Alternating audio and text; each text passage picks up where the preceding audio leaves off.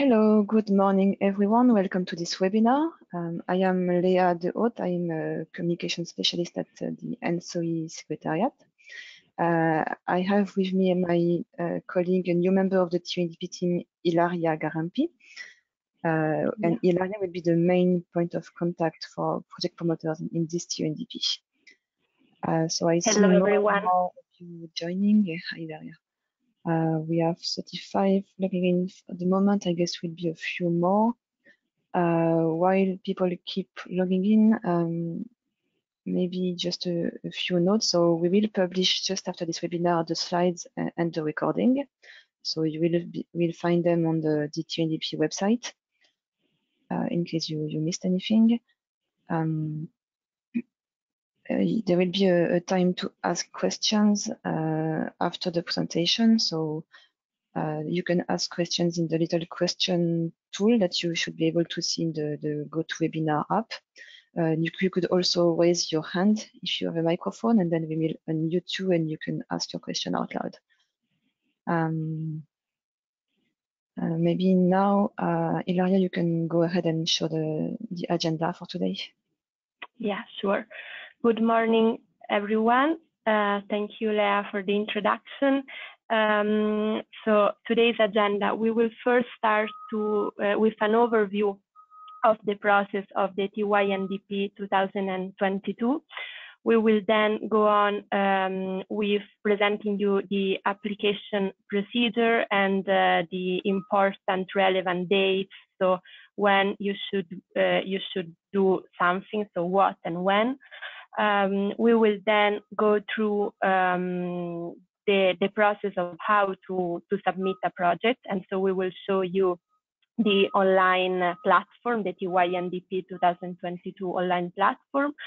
Then we will have an overview of the main criteria for selection, so it means the uh, administrative criteria, fail pass criteria, and um, the additional administrative criteria, and also the technical criteria. But then for them, if, to have more specific and detailed information, you can um, have a look at the guidance for applicants. Um, and then we will present the studies foreseen in the TYNDP uh, 2022. And finally, we will leave some time for a Q&A session, a question and answer session, where, as Leah said, you can uh, either um, ask question in written form, so in the chat, or otherwise raise your hand and we will unmute you.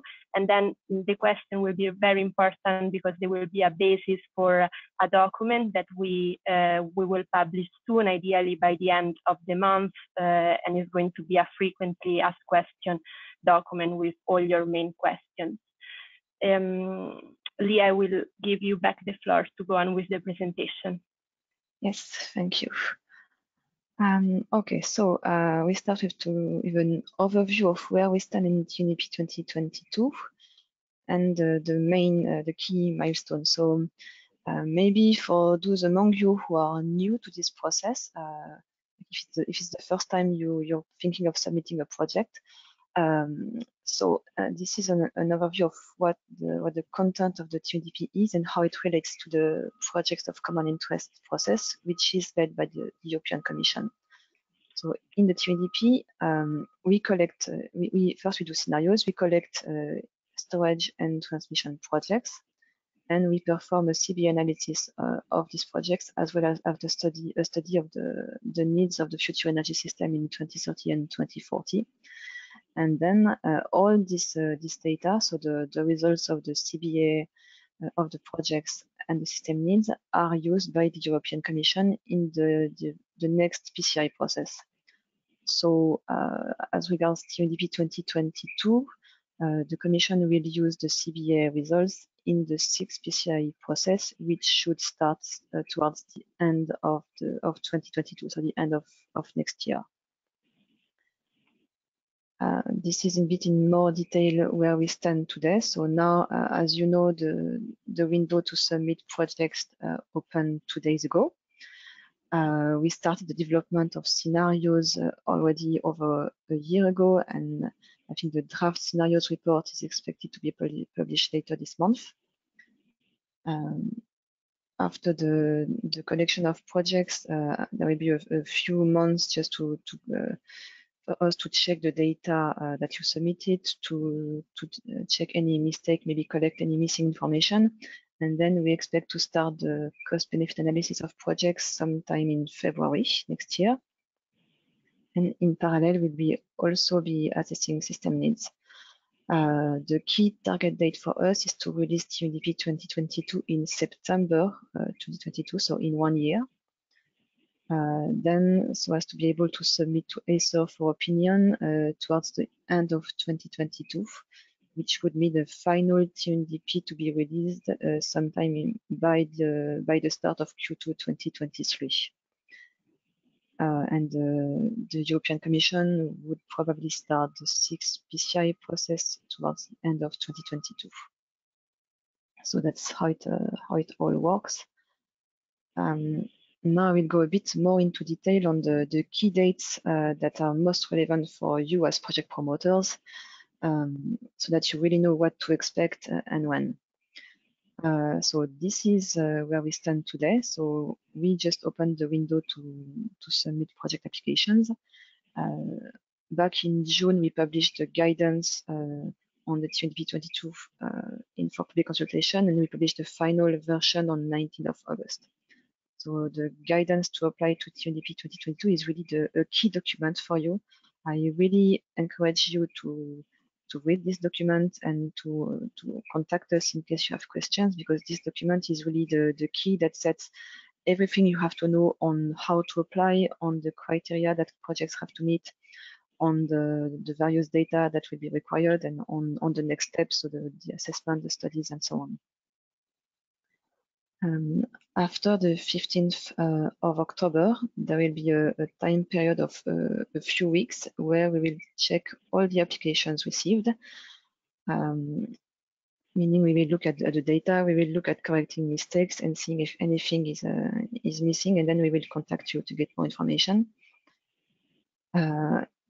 So this should uh, wait, here we say about 20 working days, but really it depends on how many projects uh, apply and how many new projects in particular.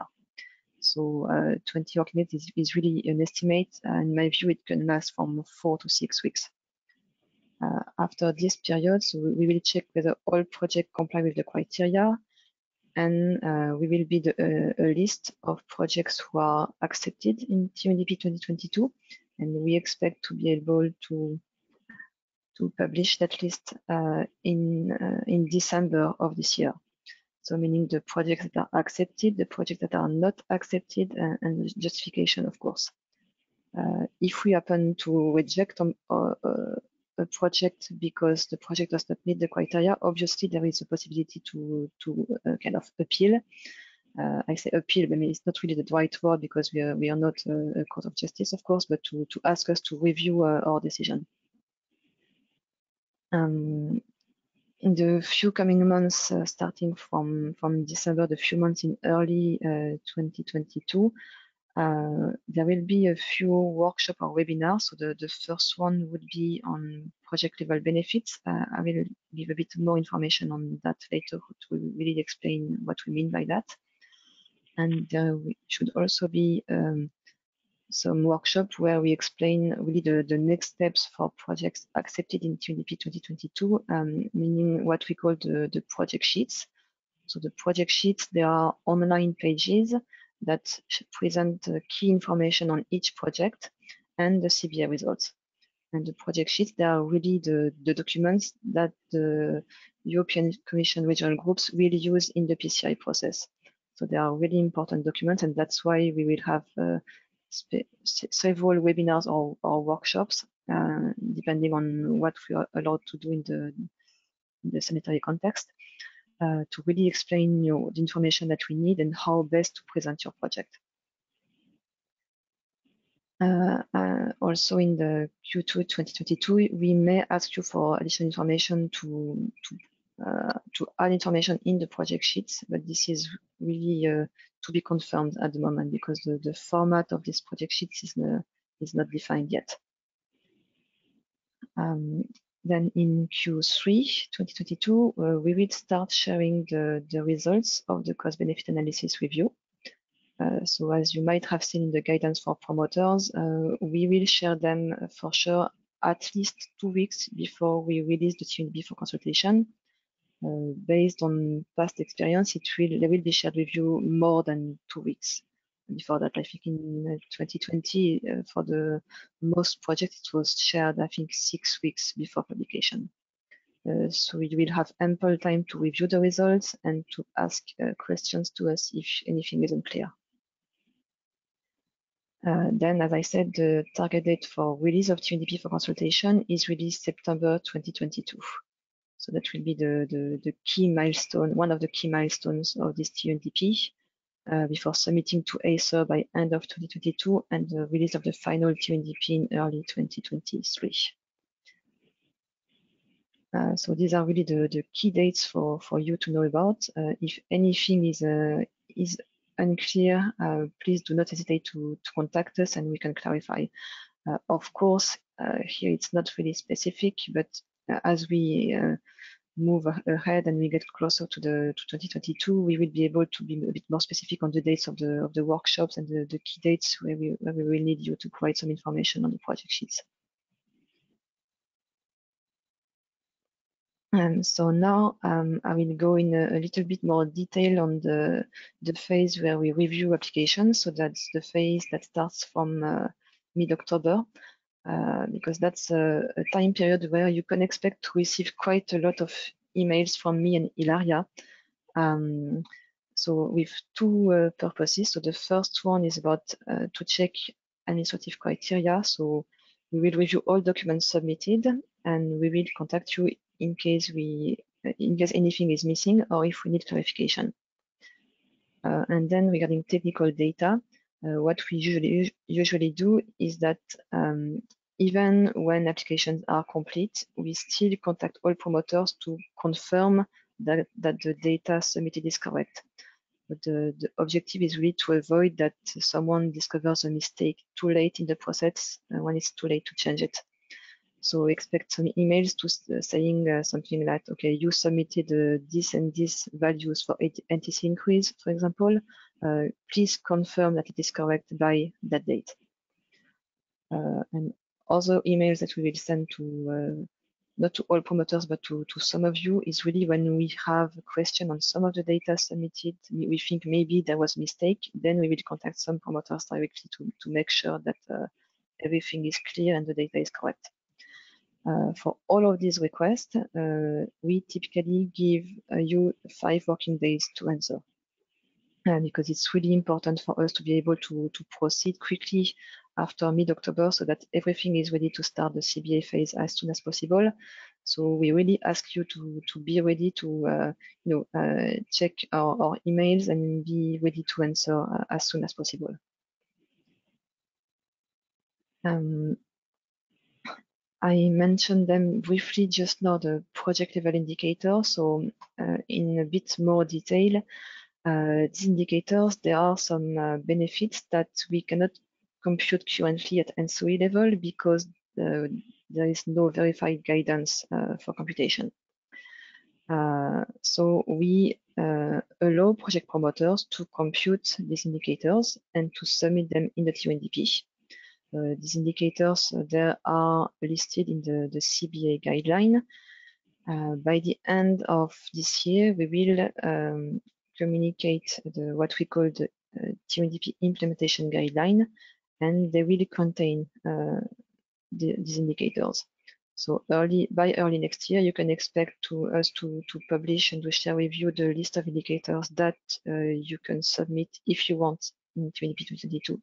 Uh, so this is really optional. There is no obligation to submit any of these indicators. Uh, so we will publish the list of available indicators and also the requirements uh, to, to submit them. So currently, I do not have the, the details on the timeline, um, but most likely you will be able to submit them by end of uh, or by mid Q2 2022, uh, so that we can check them in time before we release TYNDP. So on this point, we will come back with more detail uh, uh, I suppose by, by end of this year. Okay, this was all on this part. Now I will, I will give the floor back to Ilaria to give you an overview of uh, how concretely to submit project in the TYNDP 2022 platform. Thank you. So yes, um, now you will see the screen, how it, uh, how it appears when you enter the platform. Uh, this is how it looks like, and by now um, you should all have access to the to the platform since you receive an email with the link uh, on Wednesday, day 15, when the, the online platform open. As Leah said, uh, it will close on uh, October 15 at midday. Uh, so you have one month to submit all the projects. Is it the same platform uh, both for storage project and, uh, and transmission project? You find the transmission project on the right and the storage uh, on the left. Um, is it important to um, always refer to the TYNDP 2022 guidance. Uh, we will show also later on the link uh, to access, but you should already receive it uh, two days ago by, by mail. Um, and as it says, I am your point of contact for, for any question you might have on the online platform. We can go on. So um, all application must be submitted uh, via this platform, this online platform. Um, if you have already submitted a project in previous TYNDPs, you should already have access to the platform. Um, and this is how your login should look like. So uh, double E slash and then the first letter of your of your surname and your last name, uh, like the example underneath. While if you are a new promoter, so you haven't submitted um, any any project in the TYNDP before, uh, you can contact us. You can uh, write an email to me at uh, at entsoe.eu and um, we will provide you credentials to access to the platform. Uh, I would suggest to, if you don't have access yet, to ask for them um, in these days. It might take a couple of days to, to receive them. Uh, so it's good to do them uh, in advance and uh, we can go on and I will show you uh, the guidance uh, for promoters, guidance for applicants. This is the, the new one uh, for the TYNDP 2022. Um, and here you find all the information you need to submit your application and all the criteria you have to uh, fulfill. Um, you can find it uh, directly on there is a link on the platform, uh, also in the email, and also later on we will show you the promoter corner, which is um, um, part of our website, very relevant for you. And another document that might be relevant, uh, especially for uh, promoters that have already submitted a project in previous TYNDP, is uh, this slide deck, which show you the changes compared to the previous edition of the TYNDP. And uh, now I will give you back the floor. Thank you, Ilaria. Um, so now the uh, key part of this presentation is really the, the criteria uh, for a project to be accepted in TYNDP 2022. Um, so first, uh, you must know that uh, project promoters belong to different categories and depending on the, the category, uh, the documents to submit are not exactly the same. Uh, so one important thing to to note. So here we are looking only at the categories for transmission projects. So it really depends on whether the promoters, uh, first, does, does the promoter holds a transmission operating license? So that's criteria A1 and A2. And whether that license is in a, a country in that's A1. And if that license is in a country not in ENTSO-E, then that's A2. So typically, uh, all TSOs member of ENTSO-E are A1. Uh, then A2 are more uh, maybe TSOs who are in countries not uh, within ENTSO-E. so for example, I don't know, a TSO in, in Egypt, let's say. And A3 is really a category more for companies that are uh, as my colleague the lawyer said, licensed to operate in a regulated environment. So this is a category specifically made, I think, to cover the, the OFTOs uh, that operate in the in the UK. Uh, then category B are for what we call the non-TSO promoters, so the, the third parties. Uh, and whether these uh, these promoters operate in an environment where they can be exempted from applying to the to, from complying to, with regulation uh, 2019-943. So then promoters either they are already exempted or just have to to certify that they will apply for an exemption, or promoters that are not yet regulated. Uh, so in case you have a doubt on which category uh, your company belongs to, please contact us. And please do not wait until the end of the submission window to contact us because most likely we'll have to refer your question to our legal team and uh, they might need a, a, few days to, to come back to you. Uh, because I mean, these are really, really some like, uh, legal points of, of detail. Uh, when it comes to storage projects, it's much easier. All storage projects belong to category C. Uh, storage projects must be uh, in a country within ENTSO-E, so you can find the list on, on website. And they must respect the technical uh, details set in the TEN-E regulation. So here I copied an extract of the regulation. So mainly the storage projects must be connected to the high voltage transmission lines with a voltage of 110 kilovolts or more. Um, I received a question by email asking whether uh, battery storage could be submitted to TYNDP. So, and yes, uh, battery storage can be submitted to TYNDP. Uh, I mean, the, the criteria for storage, they are really summed up in this, uh, this extract of the regulation that is here. So it's really uh, any storage facility uh, used on a permanent or temporary basis in above ground or underground infrastructure. So typically in TYNDP, we have mostly hydro storage. We have a few compressed air storage, but I think in 2022 already we had two or three battery storage projects. I move on. So uh, here, uh, these criteria, the mandatory criteria, these are the, the four criteria that all projects uh, must comply with. Uh, the objective of these criteria is really to make sure that uh, what we receive are like serious applications from projects that actually have a chance to, to be uh, built one day.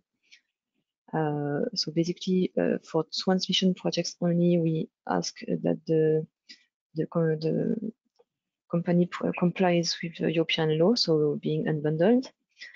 And then we ask so a proof of that the, the project promoters company actually exists. So basically you just have to provide the, the statuses of the company. Uh, we ask proof of the financial strength of the company, uh, which means that assets must be at least 1 million euros.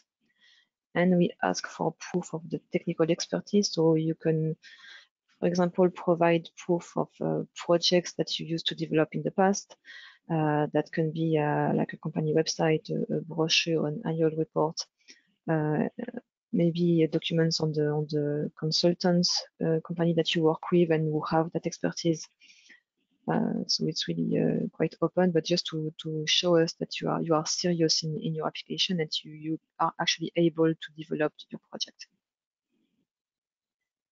Uh, so this criteria, uh, all uh, projects must comply with these four criteria. So for, storage, for storage only these three, four criteria for transmission. Uh, then the next criteria, uh, what's really important to understand is that each project must comply with only one of these criteria. Uh, there were there was quite some confusion in TYNDP 2020 on this point because promoters, some, some of them tried to to comply with all of them, uh, which is not possible because it really depends on the status of the project. Um, so really, uh, depending on the on where your your project uh, is in its lifetime, so uh, you can fulfill different criteria. For example, projects under consideration, maybe uh, they will have completed the pre-feasibility or feasibility study, or the study will be ongoing. uh, or they will have already uh, discussed with DSOs or, or with member state or NRAs and got a, letter of support from them. So that's few criteria that are available for project under consideration. While projects that are much more advanced, maybe they are already uh, PCI in the, the fifth PCI list, or they are already included in a, a national development plan, or have already received uh, be granted a, an exemption. Uh, so really, I encourage you to, to check these criteria uh, as soon as possible and to, to make sure you get the documents in time. Uh, for some of them, for example, to get a letter of support from the NRA, obviously it can take a little time before you get it. So please do, do not wait and try to get it uh, as soon as possible. Uh, a quick point here about the fifth PCI list. So as you probably know, the, uh, uh, the this list is expected to be published by the EC in November. at least that's the latest information I, I got from the EC. So uh, our submission window ends in October. So what we will do is that when the EC publishes the list, we will uh, look at it and we will uh, check and fill the platform ourselves to see which projects are in or not. So um, I encourage you to try to uh, comply with another criteria uh, than the PCI list project, just in case you are not on the list. Uh, because even if you if you're confident, uh, it would be a pity if um, in, in in November when the EC releases the list, uh, the, your project is not in there, and we have to exclude you because then you because you wouldn't be complying with the, the criteria. Uh, in case you have any doubt on, uh, on the documents to provide to, to prove the fulfillment with the criteria, please first check the guidance because we really detail for each criteria what you have to do. Uh, and then if you still have questions, uh, please contact us and we'll try to help you as much as possible. Um, then the second category of criteria are the technical criteria. So here it's a, a series of data that you must provide on, on your project. Uh, we, I, we do not list them all on this slide because we need to be too much. Uh, but mainly um, you need to, to, provide a technical description of the project, the location of the project, of course, uh, an estimate of the, the, capacity increase for transmission projects, um, need to provide network modeling data for us to, to perform the, the network CBA. Uh, so this is only compulsory for projects with a commissioning year until, until 2034 included. Uh, projects who uh, commission in 2035 or later, they, they are not obliged to provide the, the network modeling data because for these projects, we will only perform a, a market CBA, so what we call a light CBA. Uh, and finally, the date of commissioning of the projects, the project status, and the cost. Uh, I insist on the cost. It's really compulsory to provide the cost, and we will publish them. Uh, I specify that because there are always some question on, on whether um, we this data will be made public, and we have an obligation to publish it as per the, the CBA guideline. Uh, so again, if you have any any doubt on the data to provide, please contact us, and then we will refer you to our our study team so that uh, that, that, you're sure to provide the, the right data that they need to perform the CBA. Um, then a, a, separate point about Power to X projects. So like in the TYNDP 2020, uh, we do not include Power to X project in the TYNDP 2022. Uh, but uh, there is a, a, project this time to have a, a pilot uh, dual CBA, so which would cover both electricity and gas and be done uh, with the, the gas uh, network system operator ENTSOG. Uh, so promoters who have uh, like projects with an electrolyzer, for example, with a capacity of at least 100 megawatt, you are welcome to contact us by mid-October, preferably, and then we can discuss uh, if your project can be included in, in, this pilot study.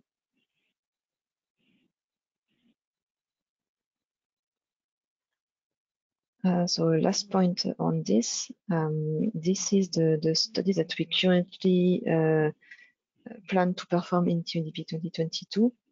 Uh, so this is provisional because the, the project plan is uh, is evolving also depending on the on the time and, and resources. So uh, depending on the commissioning year of the project, for all projects commissioning until 2034 included, we will perform an assessment in, in all scenarios. So in what we call the central scenario, which currently should be national trends, uh, a CBA covering both market and network aspects. And for other scenarios, uh, a CBA covering only market aspects. And then, so that's for the 2030 time horizon. And for the 2040 horizon, all scenarios, uh, we would perform only uh, a, a CBA on the on market side. For projects commissioning later from 2035 onward, we only study the 2040 time horizon, uh, and in all scenarios, it's a, a market CBA only.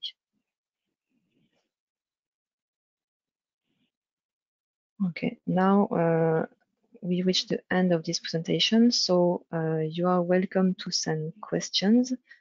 Uh, maybe we will take a very short break, like two minutes, so just to allow me to get a coffee and allow you to, to think and write any question in, in the tool.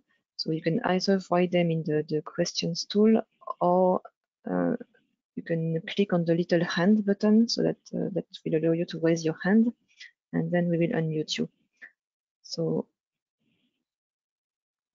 now I will give you two minutes to send uh, any question you might have.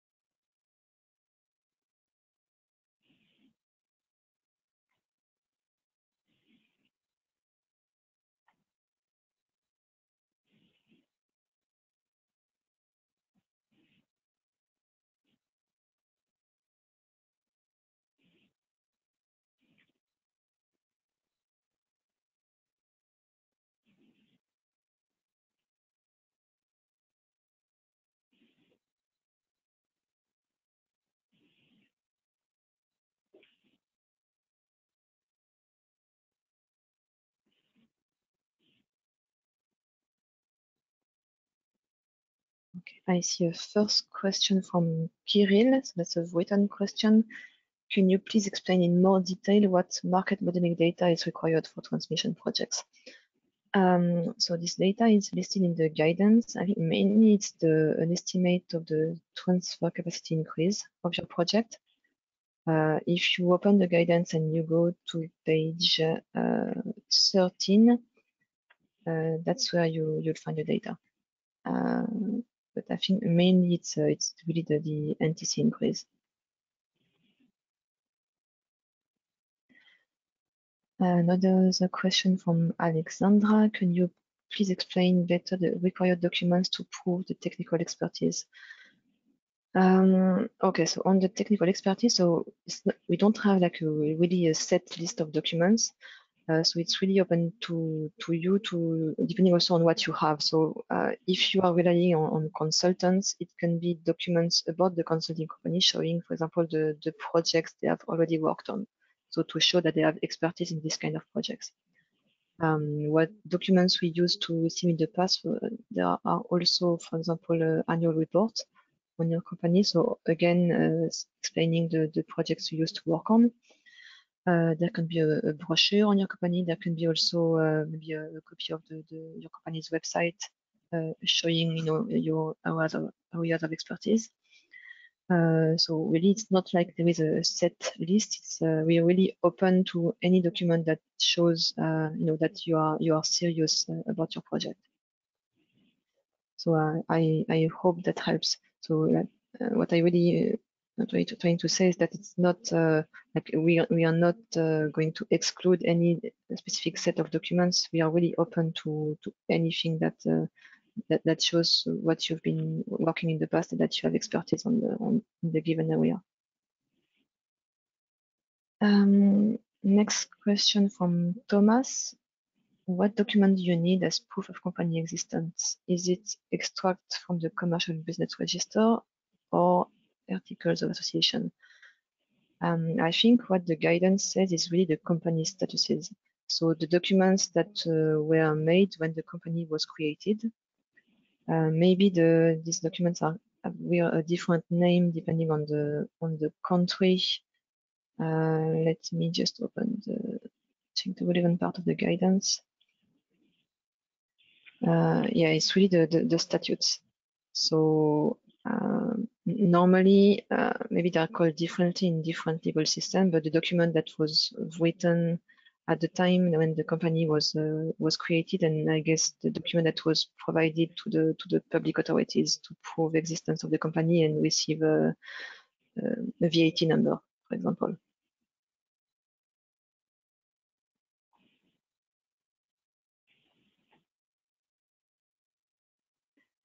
Next question from Evangelos. Could you please explain the difference between the full CBA analysis and the partial CBA that projects declared with later time horizon will be submitted to?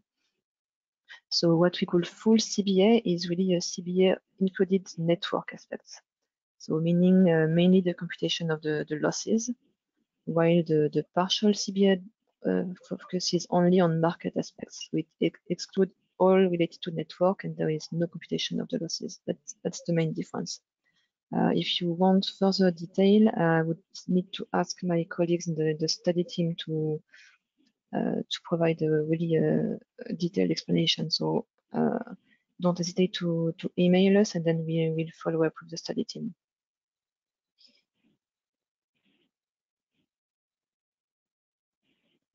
A question from Mark, specifically about UK interconnector projects and if they are separately licensed to the TSOs. Uh, this is typically the kind of question that I will have to, uh, to refer to, to our legal team.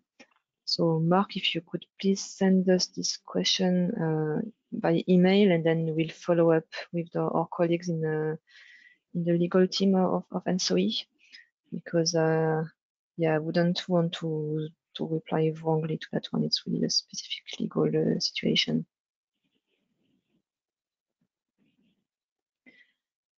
Uh, question from Mark. Are the administrative criteria more severe uh, compared to TYNDP 2020? Uh, no, I don't think they are. They are really mostly the same. There, there has been very little change compared to TYNDP 2020. Uh, another question from Mark. Is it true that all the projects should be analyzed CBA analysis?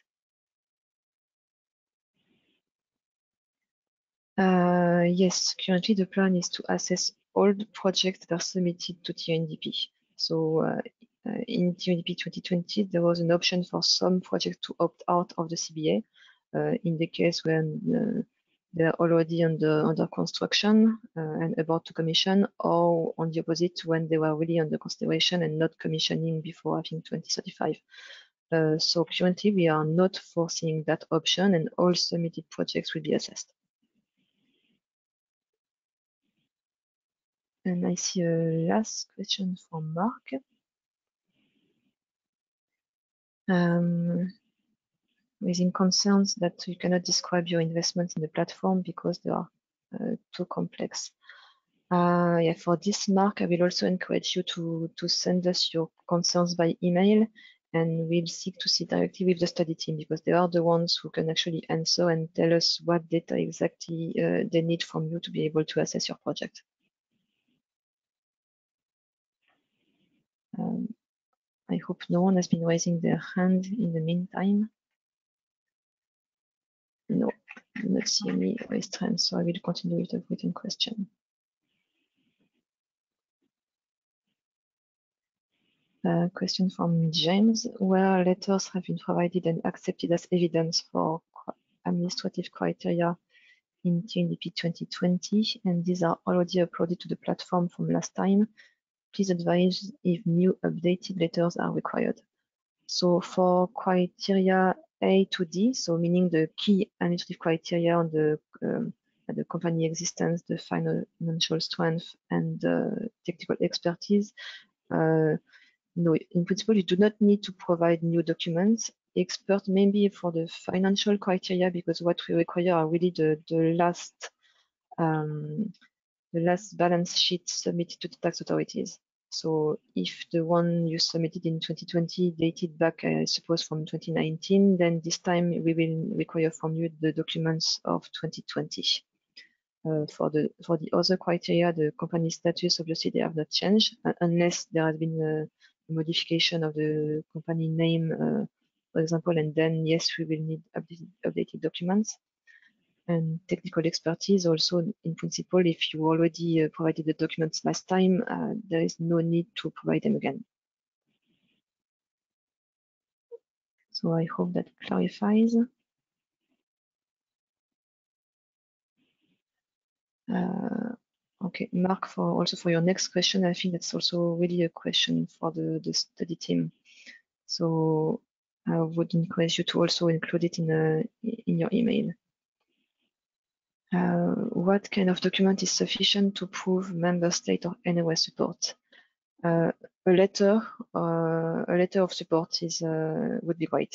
So basically, a, a, letter signed by someone at the NRA or, or, government saying that either that they support your project to be assessed in TYNDP, or even a past letter to support uh, your project in the, con the context of a PCI process if it's not older than, than three years old. That's the, the limit we set this time.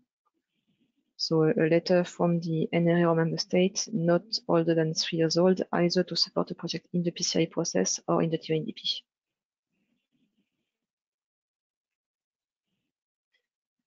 Uh, a question from Nino. Could you please explain in more detailed information about the submission of projects from promoters of category A2? Um, okay, so this is a really specific category. Uh, on this point, Nino, I would encourage you to uh, send us your question directly and really explain like, the specific case uh, of your project. So that will uh, that would really help us to to reply accurately because um, I know this is a, seems to be like a really specific uh, category of project promoters that you belong to.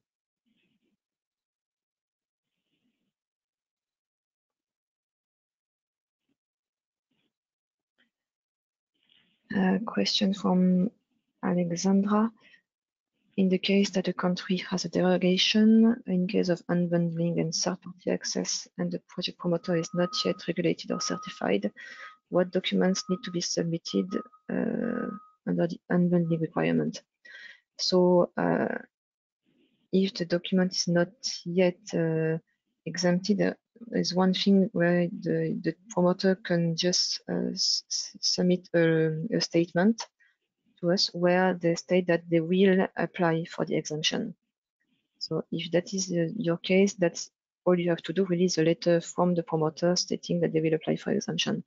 Uh, but maybe um, email us uh, before really with uh, some more detail on the specific case of, of, the project promoter so that we can really check and ensure that this is the document that, that you need.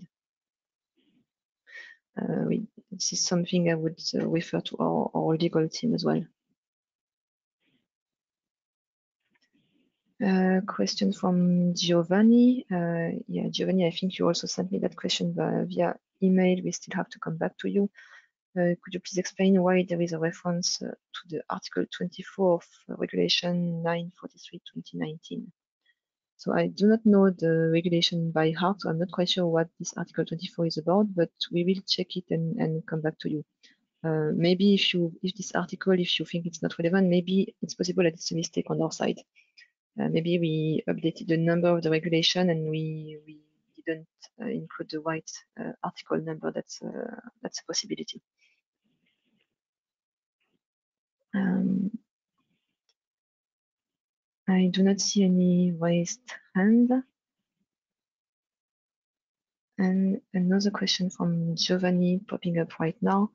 How can we modify the single point of contact reference for a project?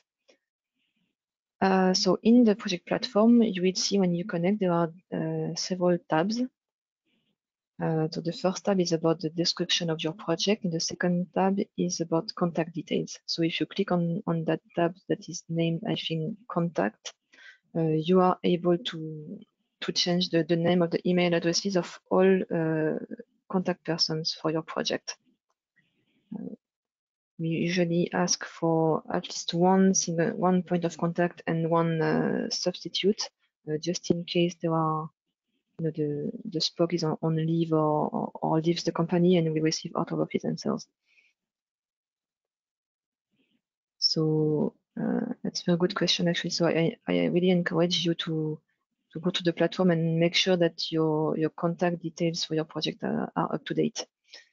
Uh, because when we uh, need to contact you after the, the, end of the submission window, uh, if we do not have accurate contact details, it's likely that we you won't be able to receive our, our emails in time, and then uh, you might fall out of TYNDP.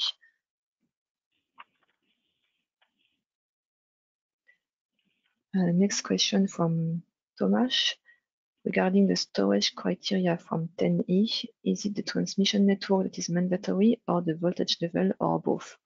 Both are mandatory. So if I try to go back to the, the extract of, of the TEN-E that I was showing earlier,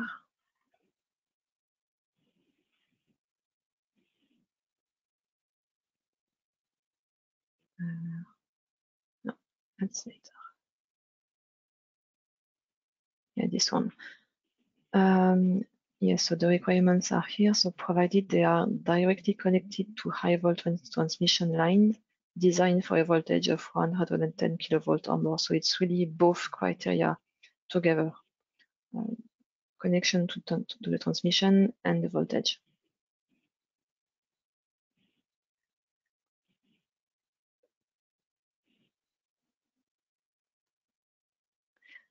Uh, I do not see any other question, uh, other written question for now. Um, so if you still have questions, there is still time to to send them. Uh, maybe now I will quickly uh, will quickly share one slide with you, which is where we where you can find so, some information on TYNDP. Uh, of course, we will keep sending you emails uh, whenever there is a really uh, important communication. But we really ask you to visit this page regularly because um, this promoters corner that you can access on the TYNDP website, that's really where we will publish all the all the relevant documents. So for example, after this webinar ends, that's where we will publish the slides and the recording. Uh, you can also find on this page the guidance for promoters and documents from, uh, from past TYNDPs. Uh, you can access the, the project platform from there, and you can also register to our mailing list. So that's really a, a key place uh, for you to, to go regularly. I would say every uh, every, every few weeks or so, to, so just to make sure that uh, you have the latest information.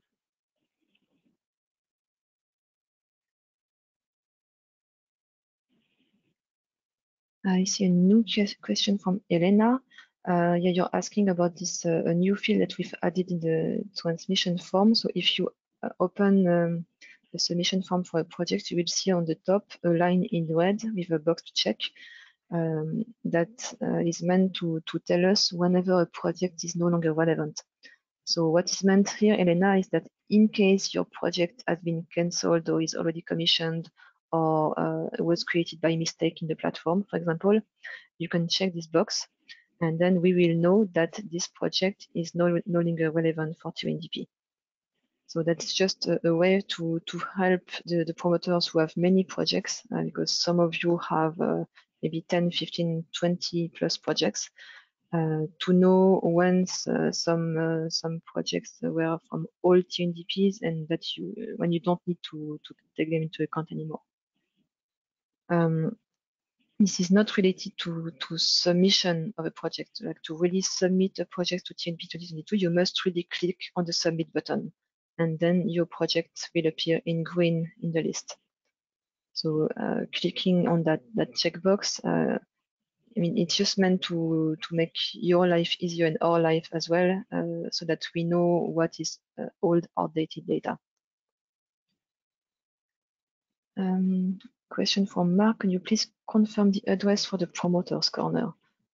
Um, well, actually, I could uh, show you on the screen. So um, you have to go to the TYNDP website. If You can see my screen right now. So this is the ENTSO-E website. Um, when you go to TYNDP website from here, here you are on the main TYNDP page. And Promoters Corner, you have the link right here on the top right. So here on this page, you can find the, the news and events, uh, which may also be relevant for you. And Promoters Corner is really uh, for information uh, specifically on, from, on, on uh, project submission. So you have the link to the platform here. Uh, here you have uh, the link to contact us. We try to keep this this part here updated as much as possible. So here you have the latest information on, on this webinar and, and the submission window. And uh, further down at the bottom, you can find the key documents here. So mainly the, the guidance, uh, the slides on what has changed compared to the past TYNDP, and um, previous versions of the guidance for consultation. And at the, the very bottom, uh, documents from TYNDP 2020. Uh, in case you find it useful, we just keep them here for, for reference.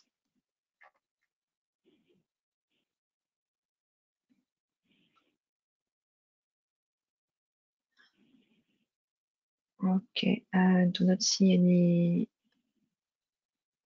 any further question. Maybe I will give you a few minutes to, to send any additional question. Uh, in the meantime, uh, there is a, an upcoming event that we would like to inform you about. Uh, it's not directly related to the, the submission of projects. So it's a separate event. It's a, an online workshop that we will organize um, on the 14th of October, uh, where we will explain what we plan to do for the, the study that will assess system needs in TYNDP 2022. Uh, so this will really focus on the, the, proposed methodology and specifically on what uh, has changed compared to TYNDP 2020. So really the like the basic assumptions and what we plan to to release in terms of uh, of outputs. So this webinar will take place on the 14th of October at 10. Uh, and uh, the purpose is really to to get your views on the the proposed methodology, uh, to maybe take into account the, your feedback as much as possible uh, in the in this TYNDP 2022 or if not possible, then for, for next systemic study in, in, the, in future TYNDPs. So here you have the, the link to register. You can also find this event on the on the TYNDP website. So in case you're, you're interested in this topic, uh, you're welcome to join us.